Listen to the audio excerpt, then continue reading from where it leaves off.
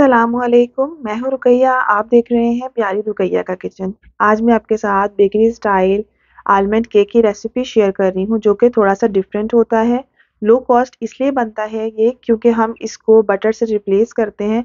अगर हम इसे घी से बनाएँगे तो बटर का टेस्ट कैसे आएगा कौन सा घी यूज़ करना है, कितना घी यूज़ होता है बटर की रिप्लेसमेंट पे, और हम लोग घी यूज़ करेंगे तो कौन सा यूज़ करेंगे, इतना फ्लैट सर्विस कैसे आया है।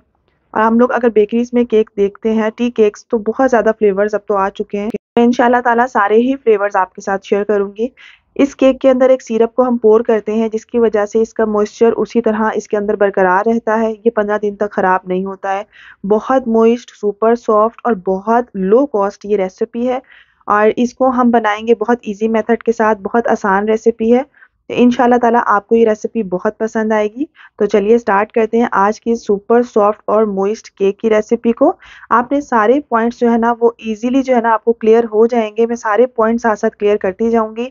बहुत अच्छा कलर भी आया है इसका। कितनी देर बेक करना है अवन की भी टाइमिंग बता दूँगी और इसे मैं पतीले में बेक कर रही हूँ। ग्राम्स और कप्स दोनों में बता दूँगी ताकि आप लोगों के लिए बहुत आसानी हो जाए। तो चलिए स्टार्ट करते हैं आज की इस रेसिपी को। बिस्मिल्लाहिर्रहमानिर्रहीम। यहाँ पर मैंने नाइन बाई नाइन का मोल लिया है। ऑयल से ग्रीस करेंगे और बटर पेपर लगा देंगे और बटर पेपर के ऊपर भी हल्का सा ग्रीस कर लेंगे। जब भी कोई घी बटर या ऑयल वाला केक होता है तो बटर पेपर को ऊपर से ऑयल लगाने की ज़रूरत नहीं होती, लेकिन फिर भी मुझे आदत है तो मैं लगा लेती हूँ। यहाँ पर अब मैंने ले लिया है ड्राई इंग्रीडियंट्स की तरफ़ चलते हैं। यहाँ पर है मैदा ग्राम्स में है टू फिफ्टी ग्राम और कप्स में होगा टू कप ठीक है? अब यहाँ पर जब हम लोगों ने कोई भी हैवी केक बनाना होता है, जैसे जो बटर से, घी से ऑयल से बनता है तो हमें इसे दो से तीन बार एरी करना होता है ड्राई इंग्रेडिएंट्स को। यहाँ पर मेरे पास है पंद्रह ग्राम बेकिंग पाउडर जो कि आपको मैं टेबल स्पून में बताऊँगी तो आप देखिएगा ये टेबल स्पून भर कर वन टेबल स्पून और हाफ़ टी स्पून है। तो मत डरा करें, जितनी रेसिपीज़ में जितनी भी बेकिंग पाउडर या बेकिंग सोडा रिक्वायर होता है, उतनी ही रेसिपी आपके साथ शेयर की जा रही होती है। तो यहाँ पर मैंने बेकिंग पाउडर ऐड कर दिया और अब मैं मैदा ऐड करके अच्छे तरीके से दो से तीन बार इसको छान लूँगी। छानने से एयर आ जाती है जो भी हम बेकिंग कर रहे होते हैं, हमारी वो चीज़ बहुत सॉफ्ट बनती है, बहुत ज़्यादा अच्छी बन जाती है तो छानना बहुत बहुत ज़्यादा ज़रूरी होता है। तो यहाँ पर मैंने अच्छे तरीके से दो से तीन बार मैदे को छान लिया है बेकिंग पाउडर के साथ। अब ये बेकिंग पाउडर से छान लिया, अब इसको मैं साइड पे रख दूँगी। और यहाँ पर मैंने ऐड कर दिए हैं 250 ग्राम एग अंडे हैं, जो कि हमारे पास है छः अंडे मतलब एक अंडा जो था वो 47 ग्राम का था 47 से 50 ग्राम का। तो यहाँ पर जो है मैंने घी का यूज़ किया है। घी मैंने लिया था दानेदार। हमेशा आपने दानेदार घी लेना है। उसे पहले चूल्हे पे मेल्ट करना है। वो रूम टेम्परेचर पर आ जाएगा स्लैब पे रखने के बाद। तो उसे फ्रीज़र में रख देना है। पाँच मिनट के लिए। पाँच मिनट बाद बाहर निकाल के फिर से रूम टेम्परेचर पे आप रखोगे और फोर टेबल स्पून तक इसके अंदर ऑयल ऐड कर देना है। ठीक है? हमने ऑयल ऐड कर दिया। और यहाँ पर अब हम इसे अच्छा सा फ्लेवर और टेस्ट देने के लिए मैं यहाँ पर ऐड कर रही हूँ वन टेबल स्पून बटर आप किसी भी कंपनी का बटर यूज़ कर सकते हैं। आप इसके अंदर सॉल्टेड अनसॉल्टेड कोई सा भी बटर ले सकते हो। ठीक है? तो वन टेबल स्पून ऐड कर दिया। इससे क्या होगा? एकदम से टेस्ट बटर का आएगा, लेकिन हम लोगों ने साथ जो है ना, इसके बटर एसेंस भी यूज़ करना है। जो कि बहुत इजीली मिल जाता है और उसके बाद हम उसको तकरीबन half one fourth teaspoon जो है ना वो मैं ले लूँगी बटर एसन। और ये ऐड करने के बाद इसके अंदर बिल्कुल नहीं पता चलेगा कि आपने इसको घी में बनाया है या बटर में बनाया है। तो इस तरीके से हमने इसको अच्छे तरीके से मेल्ट कर लेना है।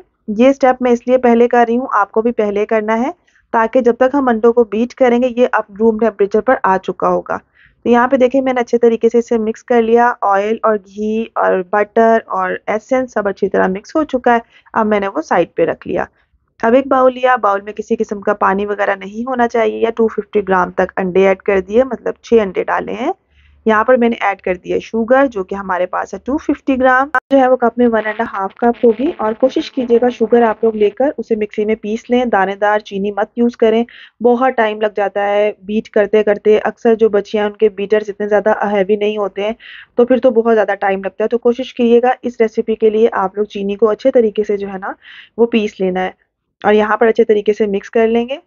इतना बीट करना है कि ये बहुत ज़्यादा फ्लफ़ी हो जाएगा, इसका कलर चेंज हो जाएगा टेक्सचर थोड़ा सा चेंज हो जाएगा लाइट वेट हो जाएगा। तो हमने इसे तकरीबन 11 मिनट तक 11 से 12 मिनट तक इसको अच्छे से बीट करना है ताकि बहुत अच्छा सा ये बीट हो जाए। अंडे जितने अच्छे बीट होंगे, उतना ज़बरदस्त जो है हमारा केक बनेगा। सारे स्टेप जो है बहुत ज़्यादा फॉलो करना आप लोगों को ज़रूरी है। तभी एक चीज़ बनती है, जब भी आप बटर की रिप्लेसमेंट पे कभी घी वगैरह ऐड करते हैं तो घी में चिकनाहट बटर की सूरत ज़्यादा होती है। तो हमें हमेशा जो है ना बटर से जो है ना घी को हमेशा कम क्वांटिटी में थोड़ा रखना चाहिए और ये अब मैं ऐड कर रही हूँ ड्राई इंग्रेडिएंट्स और साथ साथ मैं फोर टेबल स्पून जो मैंने मिल्क लिया था और साथ में मैंने घी को मेल्ट किया था, वो वाला मिक्सर जो अच्छे से मिक्स करते जाएँगे और ऐड करते जाएँगे। तो यहाँ पर ये देखें इस तरीके से मैं अच्छे तरीके से मिक्स कर लूँगी और थोड़ा-थोड़ा ऐड कर दूँगी। अगर अंडे आपके अच्छे से बीट ना हुए तो उससे भी क्या होगा ये घी बहुत ज़्यादा जो है ना वो इसको चुई कर देगा जिस तरीके से ऐसे लगता है जैसे अ, मतलब रबर की तरह हो जाएगा। अब रबर की तरह क्यों हो जाते हैं इस तरह से केक? क्योंकि हम ओवर मिक्स कर लेते हैं। यहाँ पर तो मैं बहुत स्पीड में दिखा रही हूँ ना आपको, लेकिन इतनी ज़्यादा स्पीड में मैंने स्पैचुला को नहीं मिक्स किया चलाया था इसके अंदर। तो उसका आपने ध्यान रखना है, अच्छे से बस मिक्स करना है कट एंड फोल्ड के मेथड से। और यहाँ पर जो है ना, मैं जो अपने मेथड से करती हूँ, वो भी बहुत अच्छा ये बेकरी स्टाइल का मेथड था। तो ये जो, ये इस तरह से भी सही बनता है।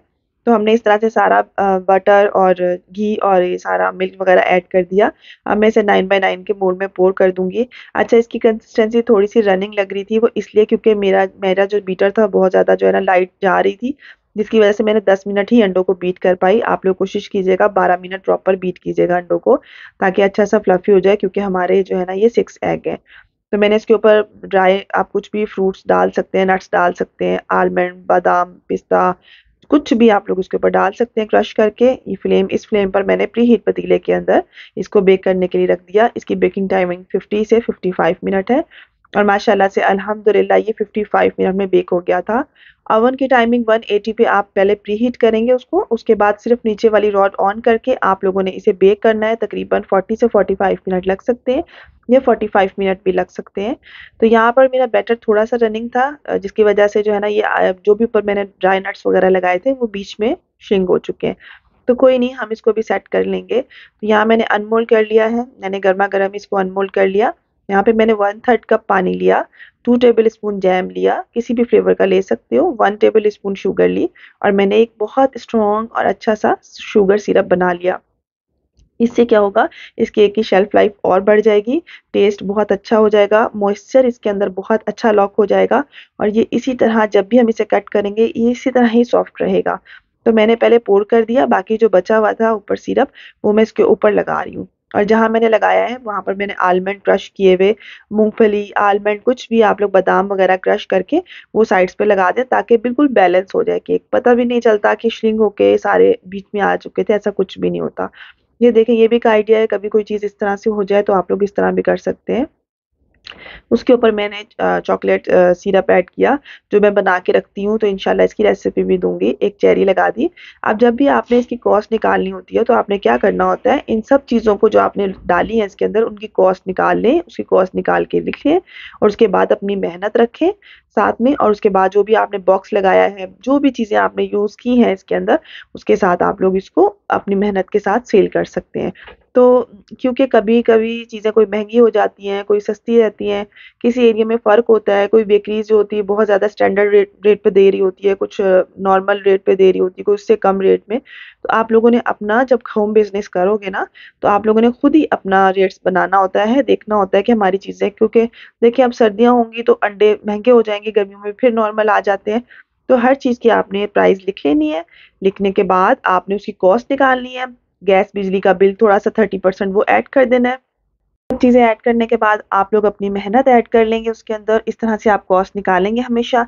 चाहे क्रीम वर्क कर रहे हैं, चाहे आप लोग पिज़्ज़ा वगैरह बना रहे हैं, चाहे आप लोग कुछ भी ब्राउनी तक बना रहे हैं, आपने सब रेट्स पहले लिख लेने हैं सारे इंग्रेडिएंट्स जो आपने यूज़ किए हैं। फोर पेस्ट्रीज बन रही हैं फोर ब्राउनी बन रही हैं सिक्स ब्राउनी बन रही हैं, उसके बाद गैस और बिजली का थोड़ा सा ऐड कर देने हैं, पैसे, फिर अपनी मेहनत रख लेनी है आपने बॉक्स जो बोर्ड जो चीज़ें यूज़ कर रहे हैं, और ये सबसे आसान मेथड है। तो आई होप मेरी इस वीडियो से आप लोगों को हेल्प मिली होगी। मिलते हैं क्यों? और बहुत ही आसान रेसिपी के साथ इस केक को ज़रूर ट्राई कीजिएगा और मुझे फीडबैक दीजिएगा। मैं अभी एक मिनी कोर्स करवा रही हूँ, बच्चियाँ घर पे आएँगी इन ताला सीखने के लिए। तो वो सारी वीडियोस भी आपके साथ शेयर करूँगी, क्योंकि बच्चियाँ हैं तो मैं उन्हें, उनके लिहाज से बहुत आसान आसान से टिप्स दूँगी तो मैं आपके साथ भी शेयर करूँगी। इन मिलते हैं न्यू रेसिपी के साथ। अल्लाह हाफिज़।